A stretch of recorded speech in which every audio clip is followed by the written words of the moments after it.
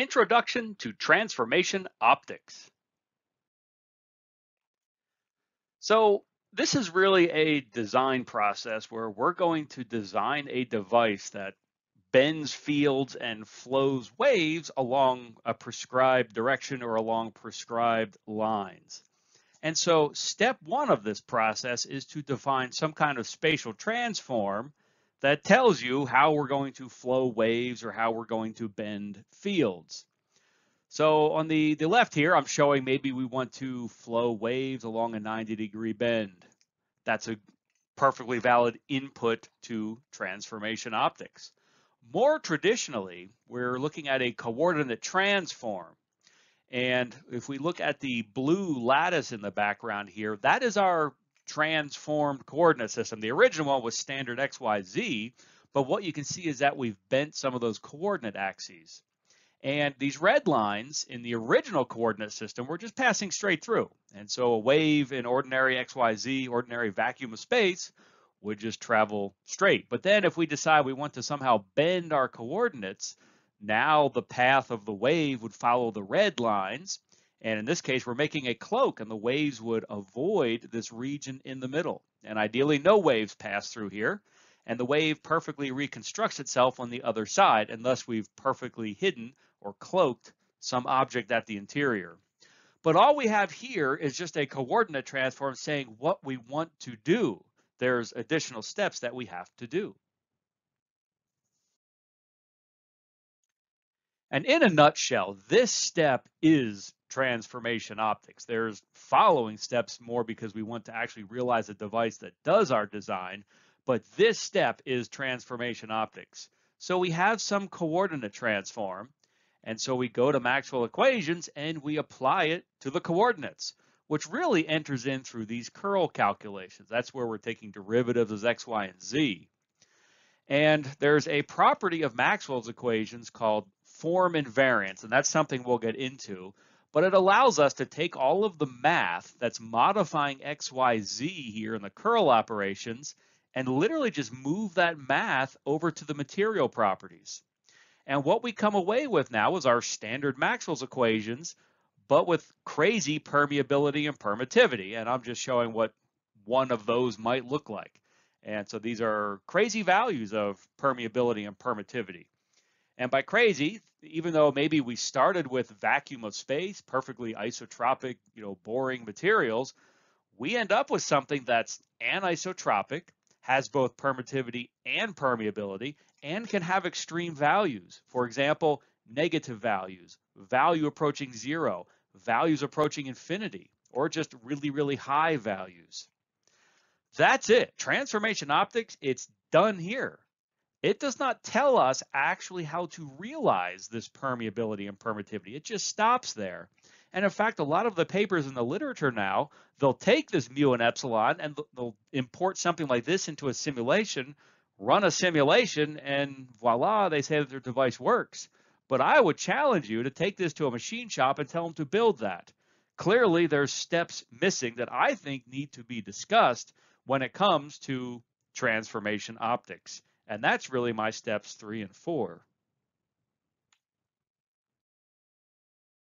So step three, we need to figure out how to realize those values of permeability and permittivity. And so here comes the idea of metamaterials. And maybe this isn't always necessary if your permeability and permittivity are you know, isotropic, maybe dielectric only, and reasonable values. We can do them with ceramics. But that's not often the case, and in fact, we have to resort to metamaterials in order to realize these crazy values. Now, even more, there's different values in different locations and different orientations, and so this might prescribe different looking metamaterials in different spots, different sizes, different orientations, different patterns. And okay, so here we've mapped what it might need to look like at each spot, but then the very last step is then how we generate an overall lattice that, that works. that doesn't have defects, that's put together in a smooth and continuous way. So that's the last step. We place the metamaterials, or really whatever we have, in whatever location, in whatever region we've defined our transform that would realize these permeabilities and permittivities. that's our finished device. So in fact, these last two steps are rarely discussed in the literature. And in my opinion, I think it's a critical part of transformation optics, even though technically, once we've calculated that mu and epsilon, transformation optics is done. We just realize there's additional steps in order to realize those devices and make them a reality. So here's a neat design that I did just for fun. And uh, my university, University of Texas at El Paso, our symbol, I guess, is the pickaxe because we're we have a mining history. And so I decided to cloak a pickaxe. And the cloak itself is in the shape of the outline of actually our older UTEP logo now. We've we've changed, and so that's no longer part of our logo, but it used to be. And inside this black line would be a big UTEP. Anyway, I just decided to borrow that outline for the cloak. So outside is just air. Inside is crazy stuff. And of course, inside the pickaxe is nothing. But what we can see is all this crazy stuff inside the cloak does weird things with the wave. But at the edge of this cloak, the wave reconstructs itself. So what we get at the output is a nice looking plane wave. But we can see it's not actually perfect. And that's just because I don't fully realize some of the extreme values that are required in here. And there's a resolution limit to the simulation. Uh, but in theory, this would work perfectly, but because we had to do this numerically, it's not quite perfect. But what you can see is that it's really, really good. And so we would call this cloaked. And somebody observing the wave here would not know that there's a pickaxe. And in fact, the, the more round or ordinary you make the shape, the better your cloak will work. These sharp edges are very, very challenging because they, they bend fields very sharply, and that's where we get these really extreme values and that's just hard to resolve in any kind of simulation. I want to finish this video just with some quick notes about transformation optics, and in following videos, we'll get in about how to actually implement transformation optics. At its core, transformation optics is just a coordinate transformation technique. And we take the math from XYZ that we apply to Maxwell's equations and move it over to the permittivity and permeability. And we come away with this map of permittivity and permeability as a function of position. That is it. After that, transformation optics is done.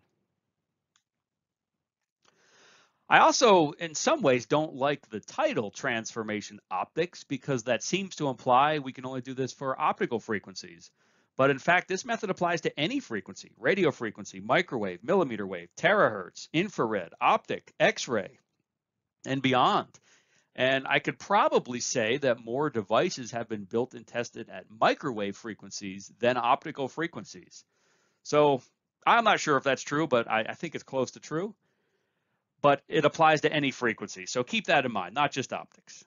Some people call it transformation electromagnetics. Other people just call it spatial transforms. Call it whatever you want. I decided to call this transformation optics because I think it seems to be the most popular title right now. So at the output, we get a permittivity and we get a permeability that's a function of position. So those are changing as a function of position. And so how we realize those values of permittivity and permeability is also different as a function of position. And this is something we need to consider when we build the overall lattice so that we don't have any discontinuities or anything like that. Now, transformation optics, as I mentioned, it ends after we get this crazy map of permittivity and permeability. It doesn't, it ends there. It doesn't say anything about how we're going to realize those values. It's us that knows, oh, okay, we probably need some metamaterials. Maybe we need some high dielectric constant ceramics or other things like that. But that's all us, and those are all steps that really come after transformation optics. So typically what we get, typically we'll start transformation optics with vacuum of space, although that's not necessary.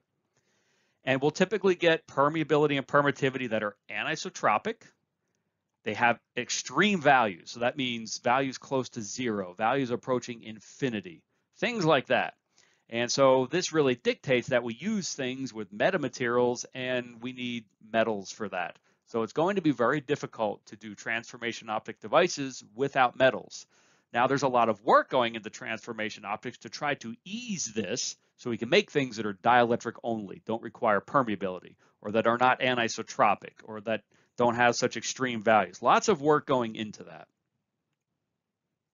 And I think I already mentioned this, but uh, transformation optics, also sometimes called transformation electromagnetics. I tend to like that title a little bit better because it really kind of applies it applies to any frequency, not just optical frequencies. But I still think it's more commonly called transformation optics. From the bottom of my heart, thank you very much for watching this video. I love hearing your stories about how these videos helped you. I also love answering your questions. So please tell me your stories and ask your questions in the comment section.